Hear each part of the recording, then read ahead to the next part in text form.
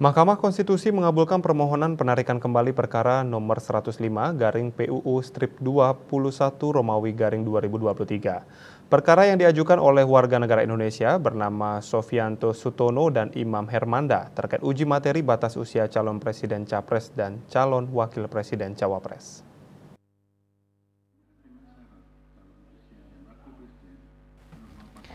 Dikutip dari kantor berita antara, Ketua MK Anwar Usman dalam sidang pembacaan putusan ketetapan di gedung MKRI di Jakarta Senin 16 Oktober membacakan mengabulkan penarikan kembali permohonan para pemohon.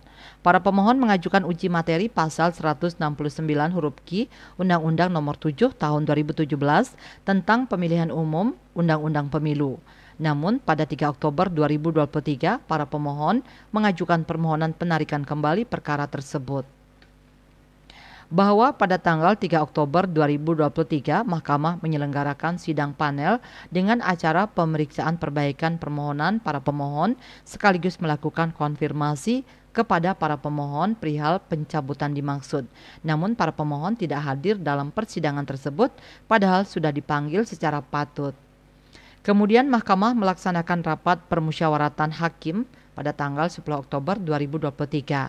Dari rapat tersebut didapat kesimpulan bahwa pencabutan atau penarikan kembali permohonan perkara nomor 105 garing PUU minus 21 Romawi garing 2023 beralasan menurut hukum.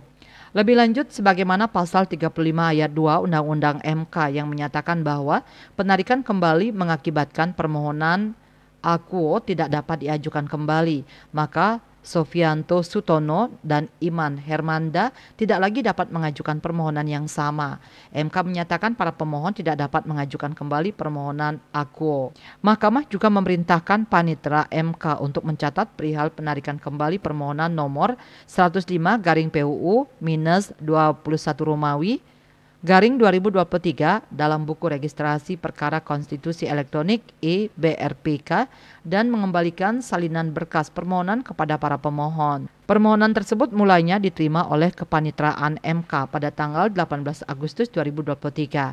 Dalam petitumnya, para pemohon memohon batas usia capres dan cawapres diubah menjadi 30 tahun. Bali Pos melaporkan.